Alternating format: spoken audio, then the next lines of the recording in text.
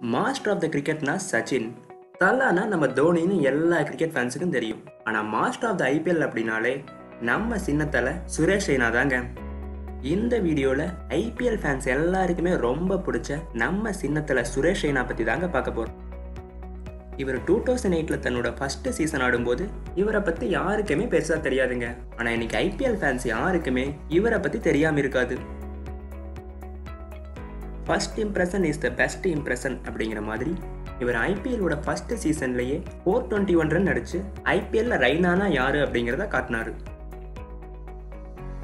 அடுத்து நடந்த எல்லா சீசன்லையும் இவருடைய பர்ஃபார்மன்ஸ் கொஞ்சம் கூட குறையல. அது மட்டும் இல்லாமல் இவர் ஃபீல்டிங்கில் வேற லெவல் பிளேயர்னு எல்லாருக்குமே தெரியும். இவர் இது வரைக்கும் ஐபிஎல்ல நூற்றி நாலு கேட்சஸை பிடிச்சிருக்காரு. ரெண்டு ஹண்ட்ரட்ஸும் அடிச்சிருக்காரு. டூ தௌசண்ட் ஃபோர்டீன் குவாலிஃபியர் மேட்ச்சில் கிங்ஸ் லெவன் பஞ்சாபுக்கு எதிராக இவர் ஆடின பேட்டிங்கை இன்னைக்கு வரைக்கும் மறக்க முடியாதுங்க.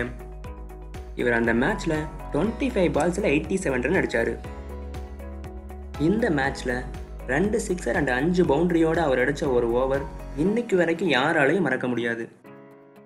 அந்த மேட்ச்சில் என்னதான் பஞ்சாப் வின் பண்ணியிருந்தாலும் ஃபேன்ஸுக்கு ரெய்னா தாங்க ரியல் வின்னர் ஐபிஎல்ல கண்டினியூஸாக செவன் சீசன்ஸில் ஃபோர் ஹண்ட்ரட் ரன் அடித்த ஒரே பிளேயர் நம்ம சுரேஷ் ரெய்னா தாங்க இவருடைய ரெக்கார்ட்ஸை யார் வேணால் பீட் பண்ணலாம். ஆனால் இவருடைய நம்பர் ஆஃப் ஃபேன்ஸ் ரெக்கார்டை யாராலையும் பீட் பண்ண முடியாது.